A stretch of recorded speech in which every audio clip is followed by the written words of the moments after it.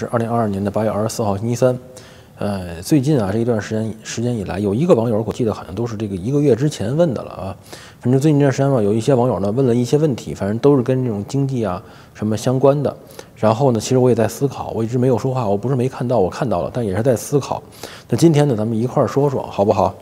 嗯，先说啊，有一个网友他问我，他说：“死东哥，他说我是一名的居住在居住在上海的你的忠实粉丝啊，你的每期视频我都看。”然后看了前两天呢，你讲的武统台湾呢不可避免，且日本的介入，中日必有一战。作为一个普通老百姓，感到呢非常的这个焦虑。目前呢，在上海有一套房子，但是呢，作为一个上班族来讲呢，这套房子就已经几乎倾尽了我所有来供养呢这套房子了。那一旦战争打响的话，房价是不是会断崖式的下跌？我是不是应该趁现在房价还可以将房子卖掉，移民到国外？如果是我孤身一人，也就无所谓了。但是呢，我还有个不到两岁的娃娃，一想到我的孩子要经受战争的摧残，就感到无比的焦虑。呃，死洞哥，希望收到你的回信，给我一些建议。然后另外一个他说啊，他说您好，那个死洞大大，这个一个台湾小小伙伴啊，不知道为什么叫大大。他说我是您频道订阅，就是他应该是会员啊，会员两年十三天啊。他说我之前呢换过一次账号，他说我应该呢是从你有会员开始就开始订阅了啊，就是会员啊。他说我是台湾人，目前呢也觉得开战呢很近。同时，台湾目前的内部也乱得不行，一直都觉得您的频道中说的呢很很对。这边呢想请教您几个问题，就像您给香港人的意见，您会给台湾人什么意见吗？以您您的预计，大约什么时候会开打？假如如果要逃难的话，那个最慢在什么时候？感谢您，我是真的想了很久，考虑了很多，想借助您的智慧呢。这个谢谢。啊，在最后的这个十几个小时里边啊，为了证明你的预言正确，赶快去投票啊！我看看我们这边投票现在有多少人，多少人投，多少人投票了啊？我们看看现在的结果，不知道这两天结果有没有变化？前两天我们说过一次票。哦，对了，如果你现在改变主意了，还现在去改投票还来得及啊，还还还是可以改的，不是说投票之后就不能改了啊。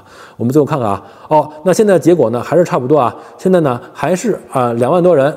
呃，还是呢，这个认为南非佩洛西怂了，不敢去台湾的占百分之二十四，占四分之一；认为中共怂了，不敢派军机伴飞南非佩洛西战机的占百分之二十八，占三分之一。剩下的美国和台湾怂了，不敢把中共的军机打下来，百分之十。大家呢都不怂，直接开干的百分之十，没意见的呢占百分之二十八，还是还是基本上还是这么一个情况，没有什么太大的变化啊。那老婆，你要改你的这个选项吗？不敢，还是你还是认为是第二个啊？中共怂了，不敢派军机伴飞南非佩洛西的专机，是不是？还是这个？好。但是稍微有一点犹豫了。有点犹豫了哈，嗯，我也我也有点犹豫，因为这个你看，连老老习都出来说狠话了，是吧？老习啊，赵立坚呐，胡锡进都出来说狠话了。嗯，到了这步呢，我现在也觉得啊，我我觉得如果现在让我选的话，我可能会选第三个了。我觉得美国和台湾怂了，不敢把中共的军机打下来。我觉得可能会选这个，为这就是作为席二的贴心小棉袄，为席二丢尽颜面洗地的绝妙角度，以及土哥忽悠的群体，包括土嫂在内，他们真实的认知水平和判断能力。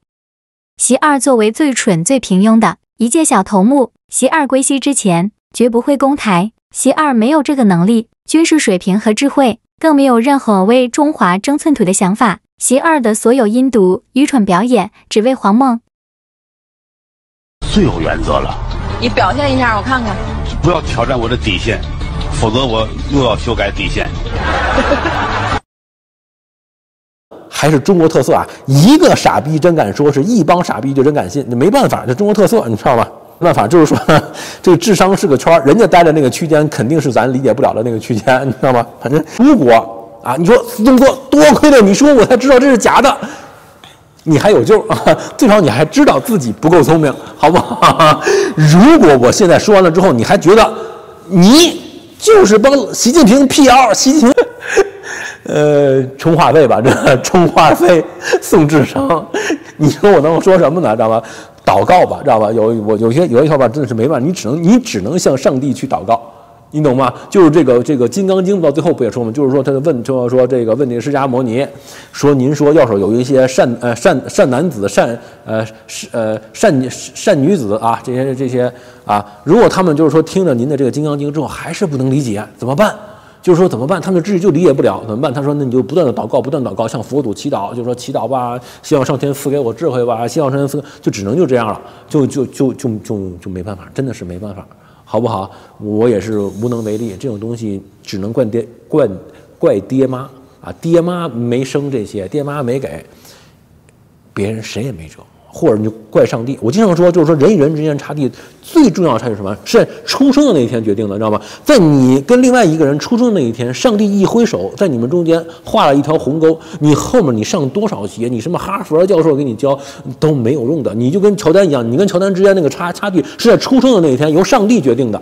你后面再怎么努力，你永远都不可能成为乔丹或者成为科比，你懂吗？你出生那天就注定了，你肯定不行，就就没办法。这个非常的悲。悲观并且呢，这个无奈，我只能说呢，就是说，